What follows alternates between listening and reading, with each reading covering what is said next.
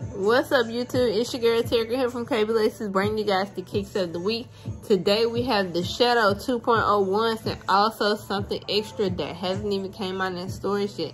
Stay tuned, watch the whole video. You know. That game super baby loca. Too like I tell a boca. Out this world is supernova. Fuck that, I ain't coming over. Come over, can I stop by?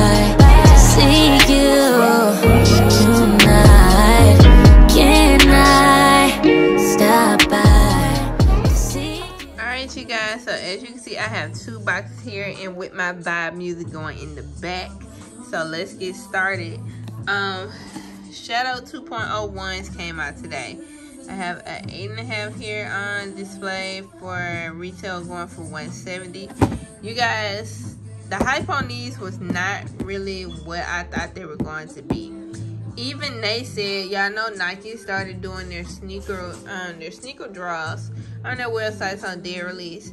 So they said even after sneakers did their draw, and usually after they do their draw, they don't sell them any, you know, sell anymore. You won't see them back on the website anymore. They went back to first come, first serve on these. So the hype on these was not what everyone expected them to be. Even resale price on these are not it, you guys.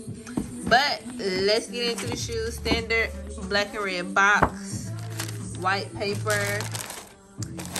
And this is a man eight and a half. Um, man sizes did come with extra gray legs, gray shoelaces. As you can see, um, grade school sizes did not come with um extra laces at all so you guys definitely be aware of that if you have extra laces on your grade school sizes that is not it um this is um they call this like a heather gray. I'm gonna say it's like a heather gray. It's very very light um black panelet like this is smooth. Like this is like suede.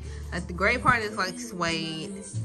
Um then you have your regular like pan leather. Um your nike air sign is is great it's to be the same gray as the shoe. Sorry you guys i have my flash on because it is kind of dark in here um so just in case you guys aren't able to see it. So yeah extra gray laces with men's sizes. No no laces at all. No extra laces at all with grade school sizes. Um to me they're an alright shoe. Um because of the color. Uh, I did get a pair for myself, but um, yeah, like I said, resale price for these wasn't it. Um, here's the other pair I was telling you guys about. Um, they call these the citrus ones. They are women mids. Um, retail for these are 120. This is a size 8.